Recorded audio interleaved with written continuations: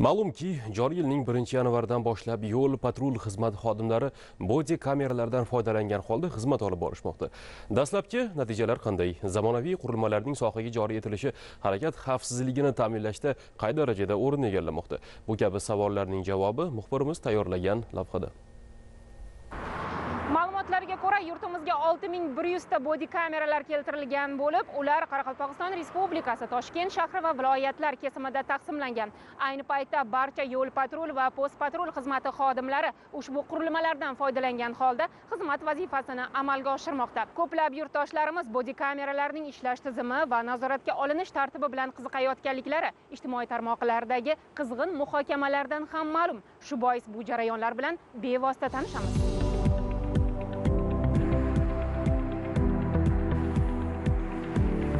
Ayni paytda biz Olmazor tumani ichki ishlar organlari faoliyatini muvofiqlashtirish bo'limidamiz. Bevosita mana shu xonalarda bodi kameralar saqlanar ekan. Demak, ularning faoliyati bilan tanishtiramiz. Assalomu alaykum. Eng avvalo mana shu bodi kameralar qanday tartibda taqsimlanadi, qanday tartibda aytaylik quvvatlantiriladi, mana shular haqida ma'lumot bersangiz.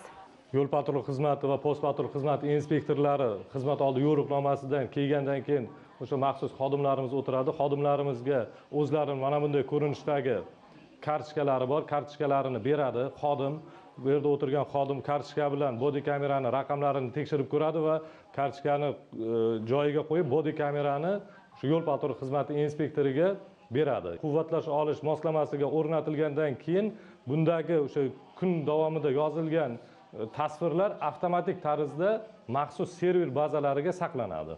Mana bu yerda o'sha operatorlarimiz tomonidan e, yo'l patrul xizmati va post patrul xizmati inspektorlarini xizmat olib borish jarayonini bemalol onlayn tarzda ko'rish imkoniyatiga ega. Bodi kameralarning joriy etilishi inspektorlar va haydovchilarning yo'llarda harakatlanishdagi mas'uliyatini yanada orttirishga xizmat qilyapti. O'zgarish bor lekin ancha hamma to'g'ri yuryapti tartib intizom bo'lyapti ancha o'zgarish bor. Bu narsa ochiqlikni keltirib chiqargani uchun madaniyat gapirish madaniyati muomala madaniyati judayam yaxshi bo'lib qolganda o'zgargan bu yaxshilikka deb o'ylayman. Ya'ni inspektorlarimiz biz bilan muomalasi har doim bir xil har doim agar to'g'ri holatda yurilsa o'zi to'g'ri muomala qilinadi haydovchi tomonidan boshqacha muomalaga o'tilsa o'zi boshqacha muomala qiladi. Lekin bu ancha baribir yordam bo'ladi. Haydovchi ham o'ylab gapiradi endi bu bilan. Amaliyotga joriy etilgan bodi kameralardan foydalangan holda xizmat olib borish inspektorlarning oldiga qo'yilgan vazifalarni bajarishda shaffoflikni ta'minlashga avvallari kuzatilgan turli xildagi bahsli hamda korrupsion holatlarning oldini olishga xizmat qiladi.